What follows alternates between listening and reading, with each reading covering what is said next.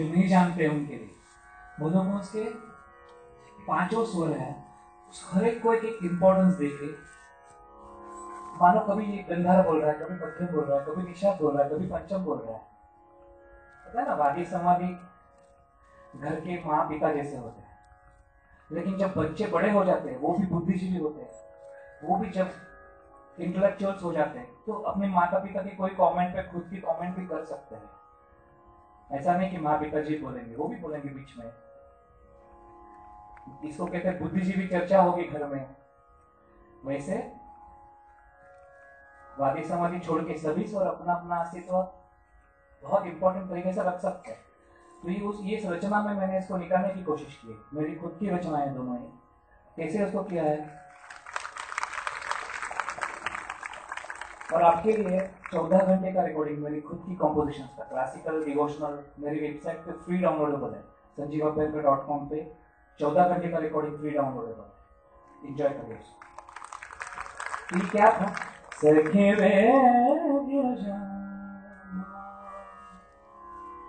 पंचम तो मुझे उसमें बहुत इंपॉर्टेंट है।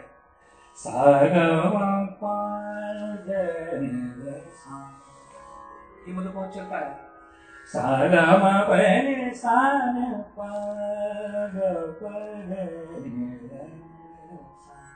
ये है अपने जगह माता पिता है पंचम अब बीच में सापा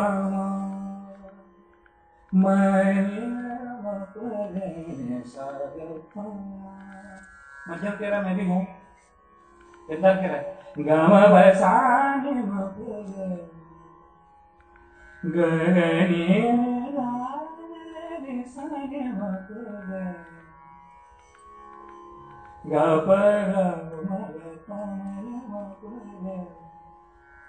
मध्यम तेरा मैं बड़ा भाई हूँ साग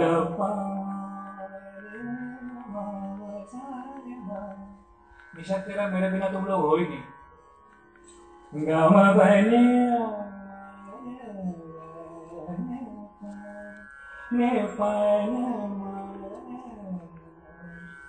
हर जगह हम लोग निशा की आसरा लेके आ रहे तो उसको बंदिश में निकाला। है सखी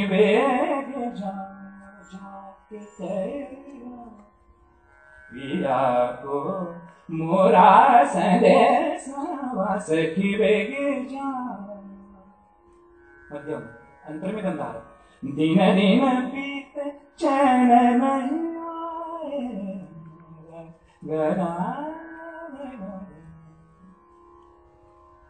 तो इस तरह से वो खेल रहा था। वो वो गले की तैयारी नहीं थी, वो एस्थेटिक्स की खोज थी।